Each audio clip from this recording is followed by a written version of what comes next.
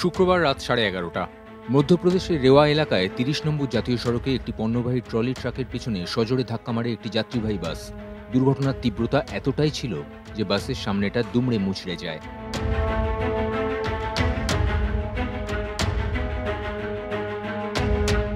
ক্ষতিগ্রস্ত হয় ট্রলি ট্রাকটিও। ঘটনাস্থল থেকে পনেরোটি মৃতদেহ উদ্ধার করা হয়েছে। রক্তে ভেসে যাওয়া দেহগুলিকে উদ্ধার করতে রীতিমতো বেগ পেতে হয় সাধারণ মানুষ ও পুলিশকে। দুর্ঘটনায় গুরুতর জখম হয়েছেন কমপক্ষে চল্লিশ জন প্রশাসন সূত্রে খবর আহতদের মধ্যে কয়েকজনের অবস্থা গুরুতর ফলে মৃতের সংখ্যা আরও বাড়ার আশঙ্কা রয়েছে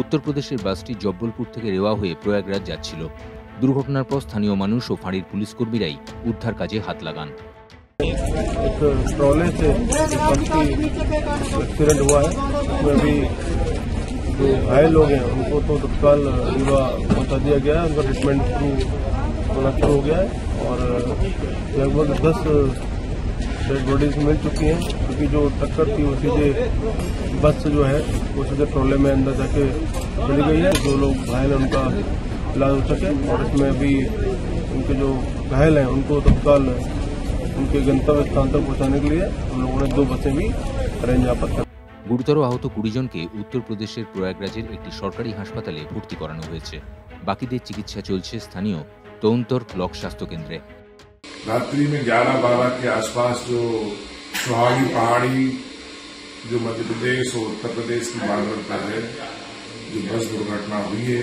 वो बहुत ही दुर्भाग्यपूर्ण है और हम सबको उसका बहुत दुख है करीब अभी तक चौदह लोगों की मरने की पुष्टि प्रशासन द्वारा की गई है जो अस्पताल में हैं, घायल हैं, उनके लिए मध्य प्रदेश सरकार पूरी तरीके से संवेदनशील है, इलाज करा रही है।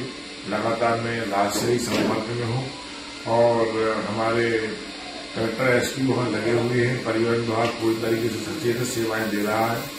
हमारा पहला ये भी कर्तव्य है कि हम जो लोग घायल हैं, उनको अच्छे से अच्छा इलाज दिलाएँ, अच्छे अच्छे इलाज की व्यवस्था करवा रहे हैं, ताकि वो बच सकें। আধার কার্ড ও অন্য পরিচয়পত্র দেখে মৃতদের পরিচয় জানার চেষ্টা চলছে।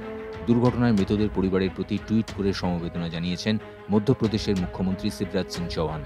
দুর্ঘটনার বিষয়ে উত্তরপ্রদেশের মুখ্যমন্ত্রী যোগী আদিত্যনাথের সঙ্গে ফোনেও কথা বলেছেন তিনি। ব্যুরো রিপোর্ট আজ তাক বাংলা।